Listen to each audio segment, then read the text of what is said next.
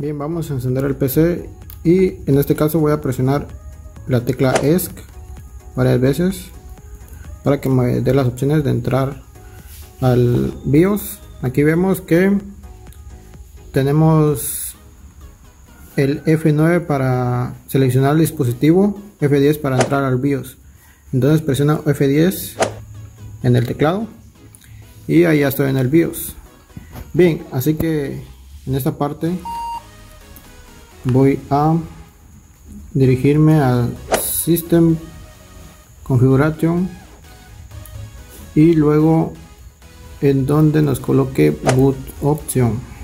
Damos con las flechitas, subimos, bajamos en Boot Option, después Enter y en esta parte estamos en la configuración del arranque del sistema. Aquí vemos los distintos eh, boots que yo lo coloqué que iniciara desde el USB, pero no funciona ya que tiene un sistema de seguridad que no permite iniciar, así que esto lo podemos cambiar con F5, F6. Vemos aquí F6, F5, F6 hacia arriba. Bien, ahí está.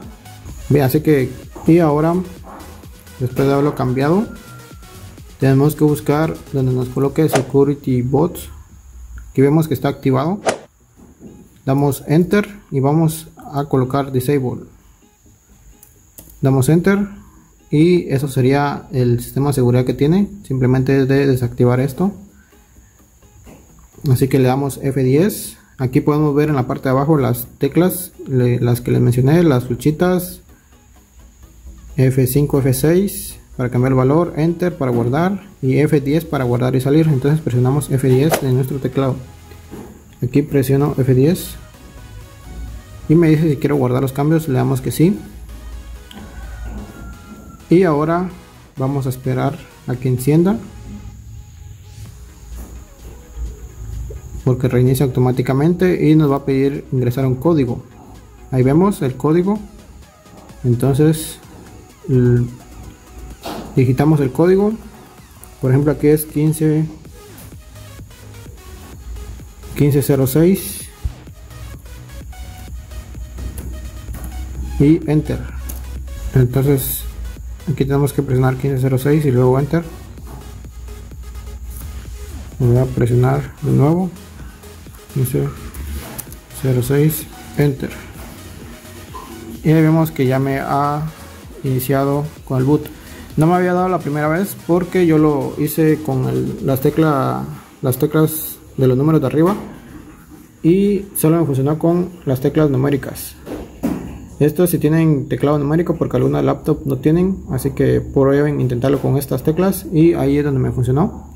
Si no con las teclas numéricas de arriba. Bien entonces ya estamos aquí en el boot. Damos enter. Y ahí prácticamente ya está iniciando desde el USB bien aquí simplemente sería de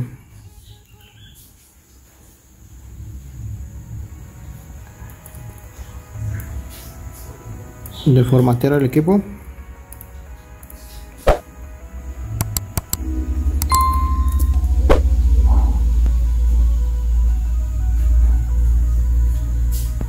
Seleccionamos nuestro país y ya todo